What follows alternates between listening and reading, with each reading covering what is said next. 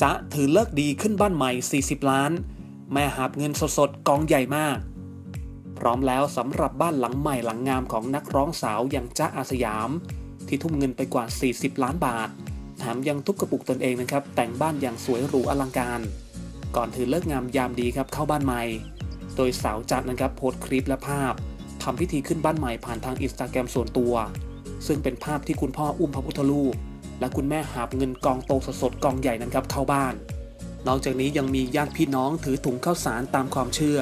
ทำให้อยู่แล้วเจริญรุ่งเรือง ร่ำรวยเงินทอง มีกินมีใช้เข้ามาในห้องพระ โดยสาวจ๊ะนั้นครับยังได้โพสต์แคปชั่นด้วยว่า วันนี้ฤกษ์ดีเข้าบ้านใหม่ พ่อแม่คือสิริมงคลของบ้านแฮชแท็กคนในครอบครัวคือพลังที่ดีของเรา ซึ่งก็มีเพื่อนๆนักร้องเข้ามาแสดงความยินดีกันเป็นจำนวนมาก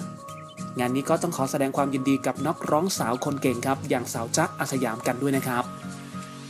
เป็นอีกหนึ่งช่องทางข่าวบันเทิงครับ ที่คุณจะสามารถติดตาม และอัปเดตข่าวสารไปพร้อม ๆ กันได้เลยนะครับ อย่าลืมกดติดตามชมซูเปอร์สตาร์ดาราแล้วก็อย่าลืมเข้ามาติชมหรือคอมเมนต์มาร่วมแชร์ร่วมแสดงความคิดเห็นกันได้เลยนะครับ ที่สำคัญครับต้องขอกราบขอบพระคุณทุกท่านมากๆด้วยนะครับ ที่เสียสละเวลาในการติดตามรับชมรับฟังกันด้วยนะครับ